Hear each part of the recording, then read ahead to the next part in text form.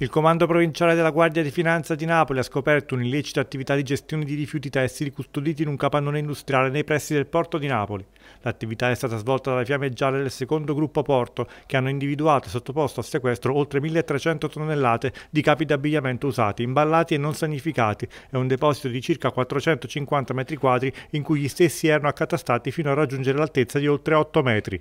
La scoperta dei finanzieri è avvenuta durante i controlli nell'area di vigilanza doganale, quando è stata notata nel piazzale antistante l'accesso al capannone la presenza di circa 60 balle di indumenti usati da cui proveniva un forte odore. Si è poi scoperto che il complesso era formalmente condotto in locazione da un 46enne napoletano, allo stato detenuto presso il carcere di Poggioreale per omicidio, che è stato denunciato per le violazioni in tema di certificazioni obbligatorie per la prevenzione incendi e al testo unico sull'ambiente. Le indagini proseguono per verificare se ci sono altre persone coinvolte nell'illecito e sull'effettiva destinazione che avevano quegli abiti, che sul mercato avrebbero avuto un valore economico di circa 2 milioni di euro.